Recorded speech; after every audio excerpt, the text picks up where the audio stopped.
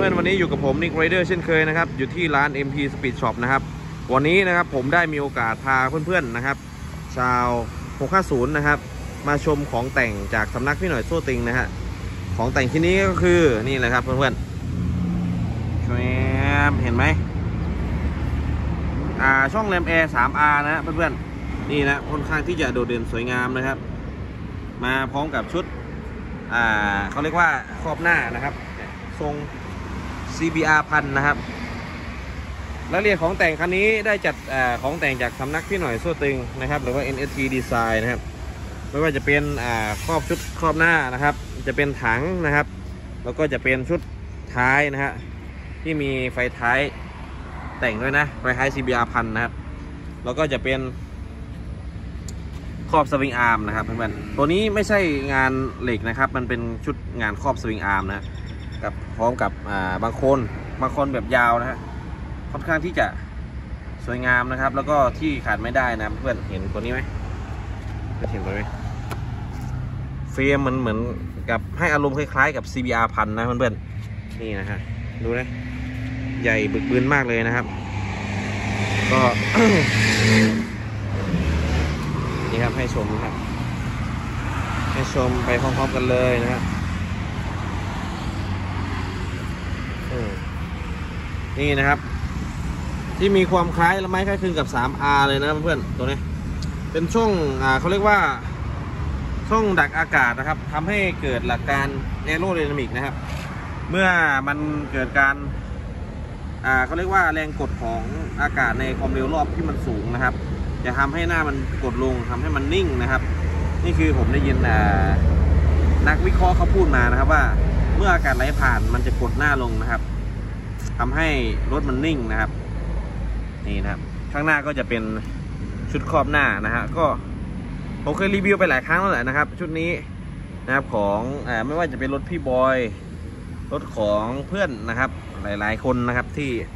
เอามาให้ผมรีวิวนะฮะที่ได้มาอีกอย่างหนึงก็คือจะเป็นนี่ครับชิลหน้านะครับชิลหน้าจะเป็นของอ่า CBR พันนะ ทรง CBR พันนะครับนี่ครับให้มองความรู้สึกนะครับอ่าใส่ชิลหน้าชุดนี้นะครับ ก็รู้สึกว่ามันมันมันต่ำมันหมอบนะครับ บวกกับอ่าแฮนด์จับโชคนะครับ ที่เจ้าของรถเขาได้ใส่มานะครับ ตัวนี้นะเป็นแฮนด์จับโชคนะครับเนี่ยเขาจะเปิดกุญแจให้ดูไฟท้ายนะนี่ก็ดูท้ายนะนี่ นี่ค่อนข้างที่จะสวยงามนะเพื่อนเลยนะนี่นะคล้ายๆแฟ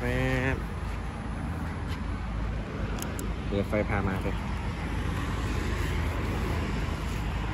นี่นะเห็นไหมเหมือน CBR พันเป๊ะๆเลยนะครับ ไฟท้ายนะเพื่อนๆโคตรสุดนะครับ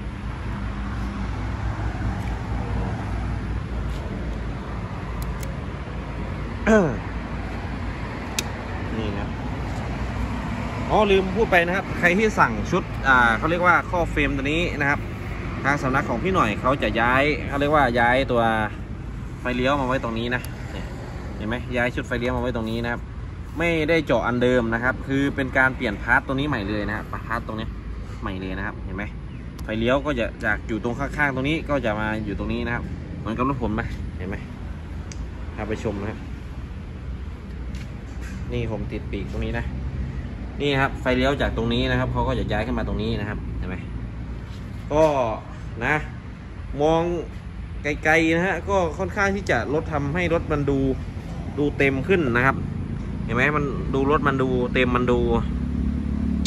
แน่นขึ้นนะผมพาไปดูใกล้ๆนะเห็นไหมนี่มุมบนนะ โคตรเฉียวอะเพื่อนๆให้ดูมุมบนนะครับ โคตรเฉียวนะครับเฉียวนี่คือโฉบเฉียวนะมาดูรอบๆคันนะครับ ทางเจ้าของรถเอาถ้อยเสียมาแก้ไขนะเพื่อนๆนี่นะดูข้างๆรถค่อนข้างที่จะดูดุมากๆเลยมองเผินๆนี่ CBR พันเลยนะเพื่อนๆนะครับเดี๋ยวดูรอบคันนะ นี่นะครับ เห็นไหมค่อนข้างที่จะสวยงามนะครับในดุดัน ไม่เกรงใจใครจริง ๆ นะ นี่ feel feel การใส่แฮนด์จับโช้คดูจากมุมสูงนะ ผมว่าค่อนข้างที่จะหมอบเลยนะครับเนี่ยนะนี่ก็ โอเคนะครับสำหรับเพื่อนๆคนไหนชอบคลิปนี้ก็อย่าลืมกดไลค์กด subscribe ผมด้วยนะเพื่อเป็นกำลังใจในการทำคลิปนะครับ โอเคนะครับสำหรับวันนี้ผมนิกไวเดอร์นะขอจบคลิปเพียงเท่านี้สวัสดีครับ